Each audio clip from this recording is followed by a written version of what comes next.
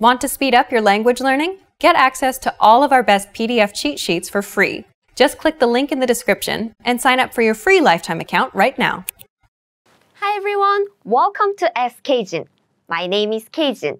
안녕하세요, Kajin입니다. In this series, I'll answer your Korean questions. So if you have any questions, please let me know by clicking the link in the description. Or you can go to koreanclass101.com slash ask-kajin. So ask me any questions. Today I picked questions related to 받침, the final consonant in Korean, part 1. Here's the first question from Gretchen. Thank you, Gretchen.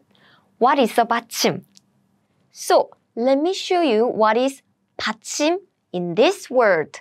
목요일, 목요일. 목요일 means Thursday. And do you see this square? this square kind of sounds like M in English, like book, book, book. And do you see this?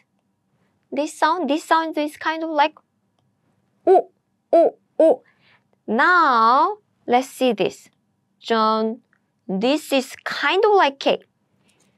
I put the English romanization here to help you understand, but Korean pronunciation is different from English pronunciation, so it's not exactly like K. But anyway, I broke down this syllable, so it's kind of like M-O-K, mok, mok, mok in Korean.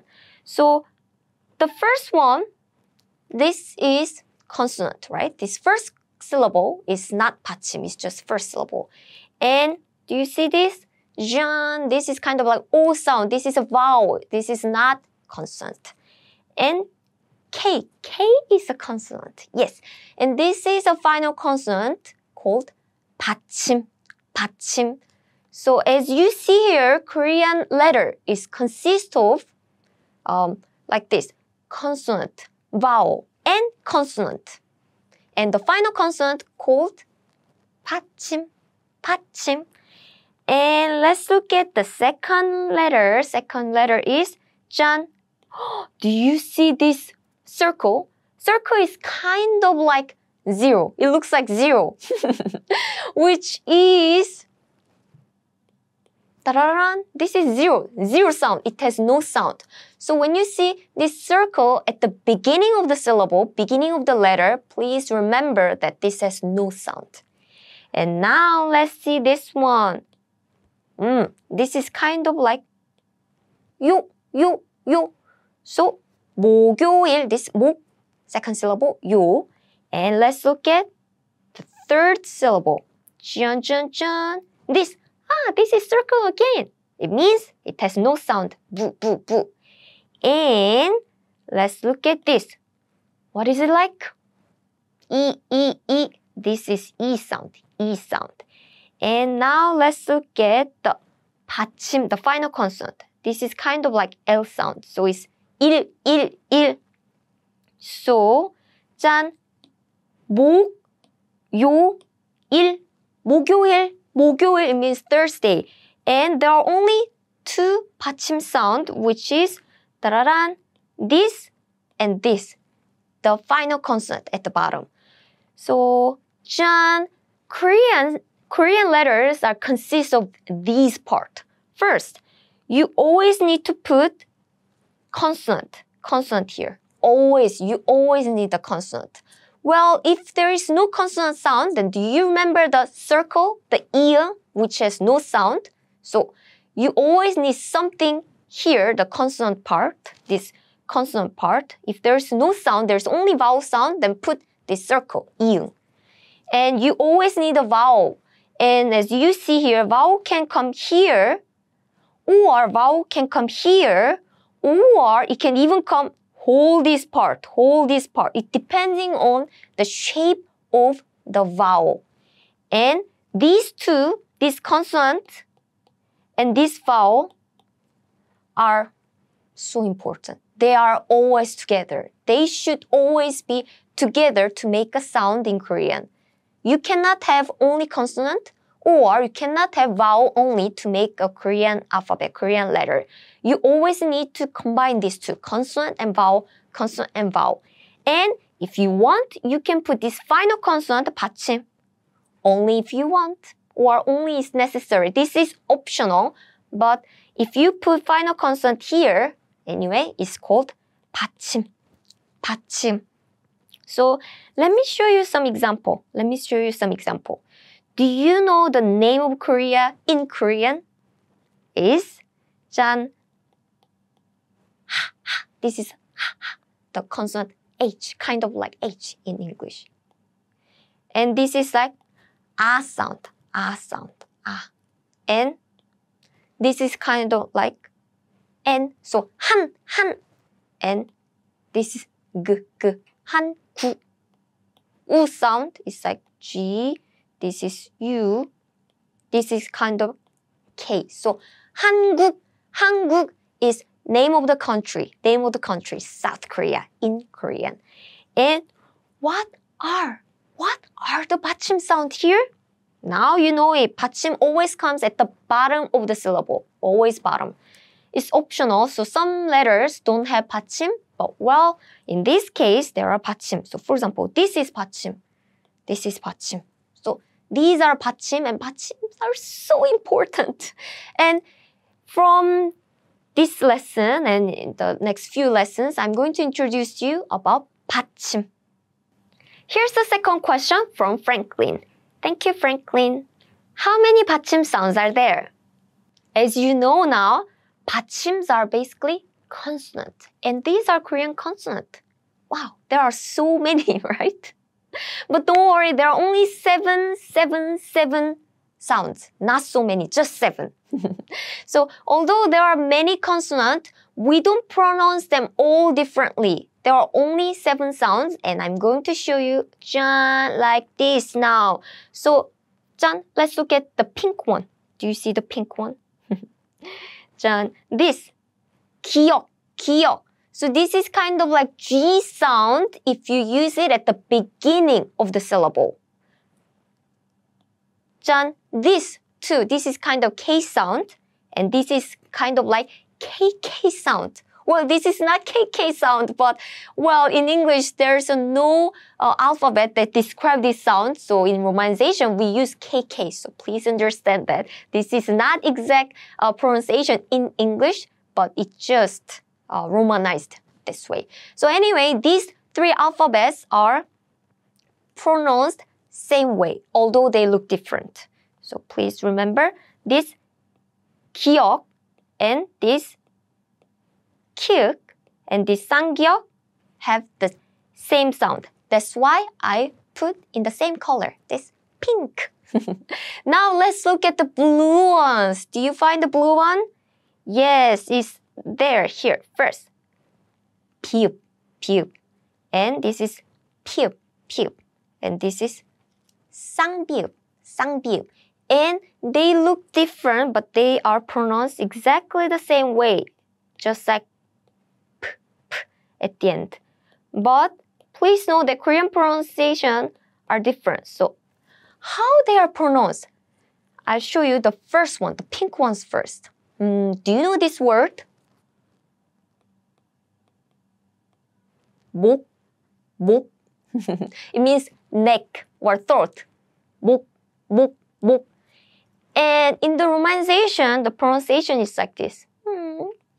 M-O-K, mok, mok. But probably as an English speaker, you read like this. Mok, mok. But nope, nope. Korean pronunciation is different. Korean K is different. As a 받침, it's not mok, but it's 목, 목.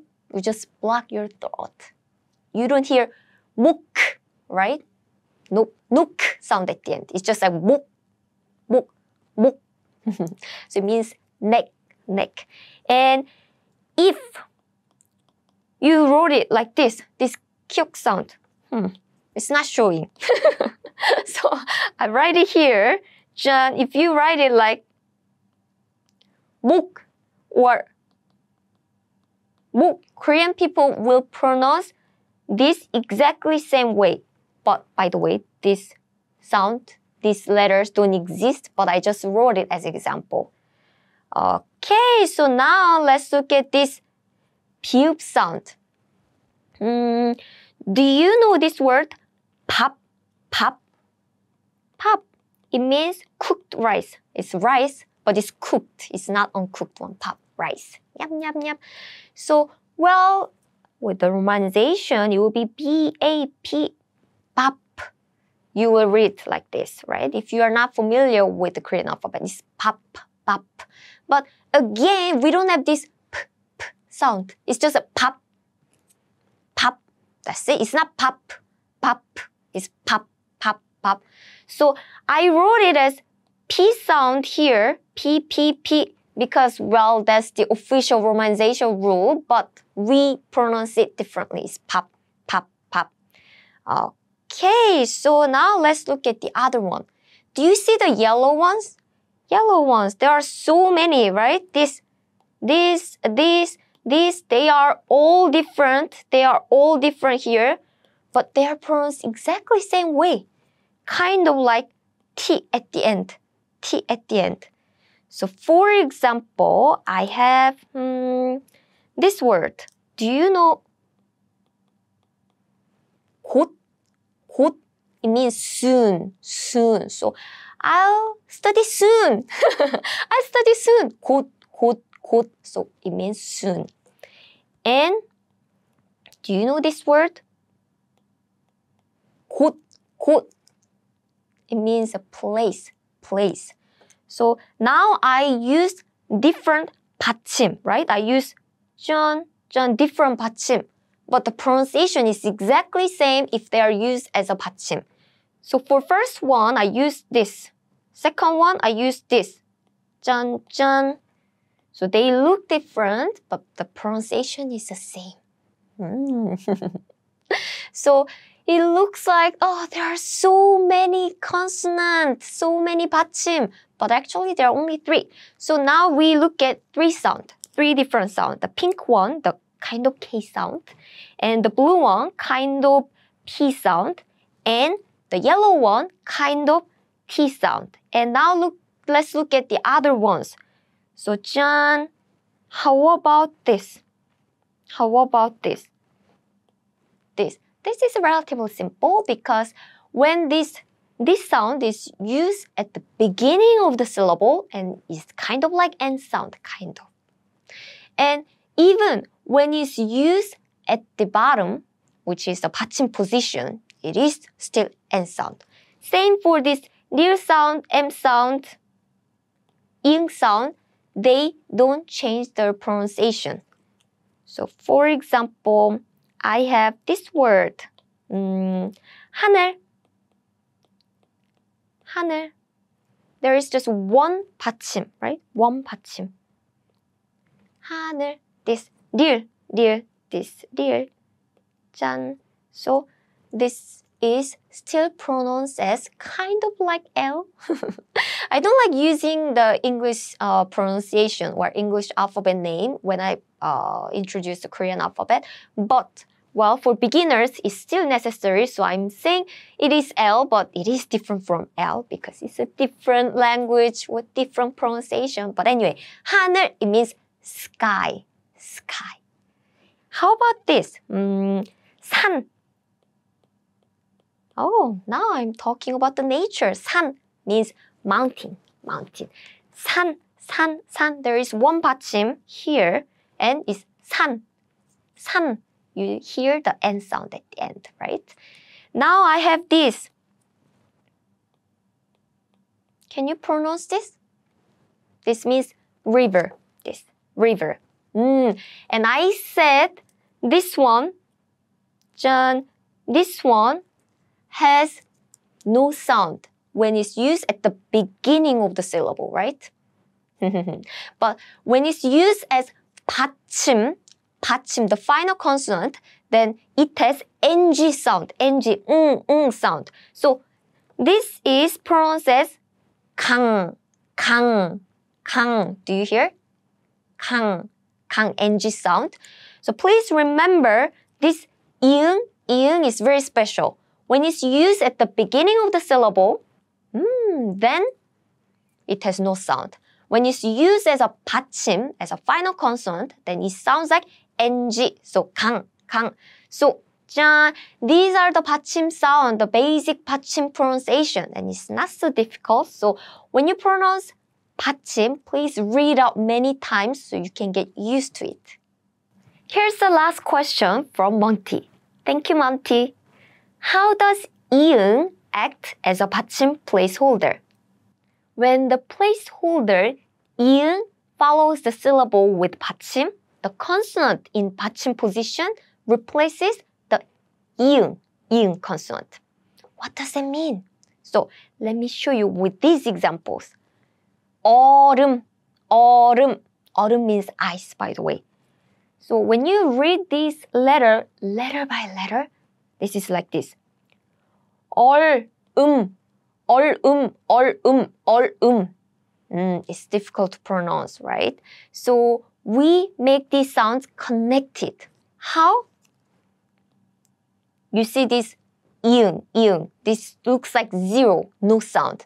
Actually, it has no sound because it's waiting for a 받침 sound. It wants to steal the 받침 pronunciation. How? 짠, there is this 받침, kind of L sound, right? It goes here. So it's written as 얼음, 얼음, but when we actually pronounce this word, it's like 얼음, 얼음. It's not 얼음, 얼음, 얼음. It's hard to pronounce it. It's naturally connected. It's naturally linked, as in 얼음, 얼음, 얼음. Let's practice with another example, which is 금연, 금연, 금연.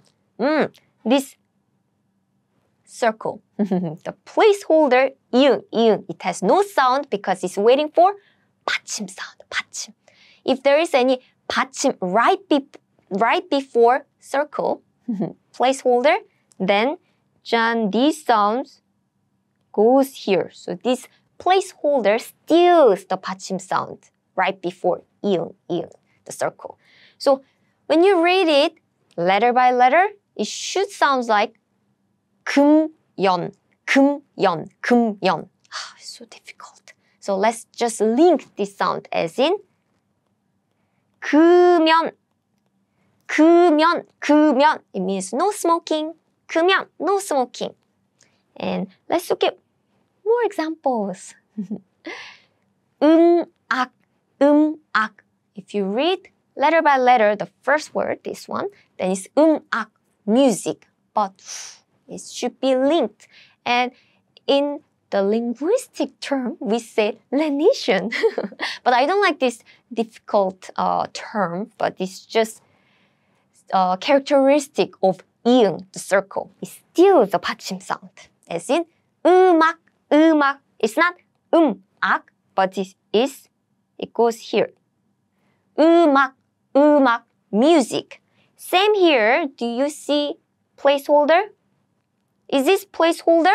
Nope. This is 받침. When it's used as a 받침, then remember the pronunciation is like this. ng. So what is the placeholder ing? Is here.